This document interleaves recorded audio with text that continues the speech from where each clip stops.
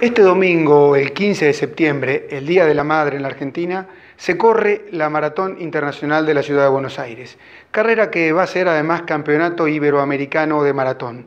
Una carrera internacional, una carrera con gran calidad de atletas y gran cantidad de atletas. Más de 10.000 corredores ya están listos, inscriptos y preparados para estar en la línea de largada en Figueroa Alcorta y Monroe a las 7 de la mañana. Sí, sí, muy cerca de la cancha de River.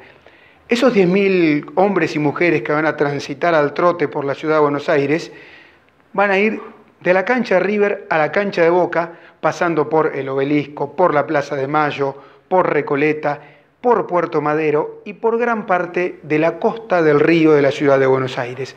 ¿Por qué? Porque este año cambia el circuito. Este año, producto de las obras en la zona sur, en la avenida Paseo Colón, el circuito ha cambiado y se va a correr por el aeroparque. Van a pasar frente al aeroparque mirando el río de la ciudad de Buenos Aires y más allá del kilómetro 30 y largos, casi 40, van a tener que cruzar el puente La Bruna, el viaducto La Bruna por detrás de la cancha de River para finalizar en el punto de llegada. Es por primera vez en la historia de la Maratón de Buenos Aires un circuito circular, es decir, que se larga y se llega en el mismo sentido en toda la carrera.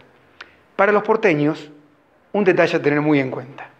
El tránsito va a estar parcialmente cortado durante unas seis horas y media, que es lo que reglamentariamente dura la carrera. Es decir, en la cancha, en la zona de cancha de River, desde antes de las 7 de la mañana hasta bastante más después de la 1 de la tarde. En los demás lugares, a medida que pase el último corredor, se va a ir levantando el circuito, se va a ir liberando la zona y se va a poder circular. Hay 1.200 personas trabajando para estos más de 10.000 corredores que van a recorrer la ciudad de Buenos Aires en una fiesta del atletismo en el Día de la Madre.